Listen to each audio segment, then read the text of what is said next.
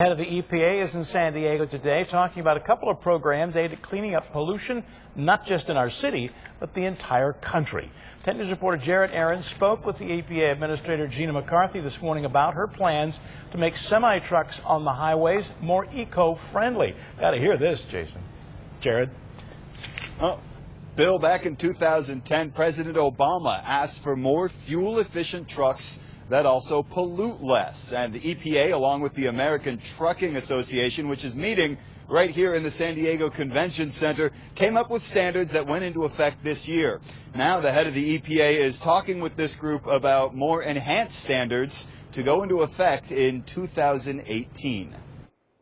EPA Administrator Gina McCarthy calls the trucking industry a great partner in her agency's battle to reduce greenhouse emissions. There's been a tremendous um, opportunity for us to understand how we can reduce pollution and at the same time continue to have a really growing and resurgent industry. An industry that's already tried to make itself more environmentally friendly. Since starting the SmartWay partnership between truckers and the EPA in 2004, new guidelines have helped save 120.7 million barrels of gas, 51.6 million metric tons of pollution, and $16.8 billion.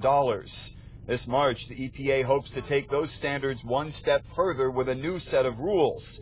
McCarthy is trying to get input from truckers on what those rules should be. The important thing is to listen to the industry about where they're heading, how they're growing, what technologies they see available, and then to, and then to continue to work with them to develop something that's aggressive but reasonable. It's an obvious win, but you have to take into account technology. Will the technology be ready to be put on the shelf for us to purchase? We want to make sure that it's ready for prime time, so to speak. Here's an idea of why better fuel efficiency is so important. One semi truck can hold up to 400 gallons of fuel, but it only gets about 7 miles per gallon. The head of the EPA is also focused on water pollution along the San Diego border. Coming up in 30 minutes, hear her plans to help clean up the water. Live in downtown, Jared Aarons.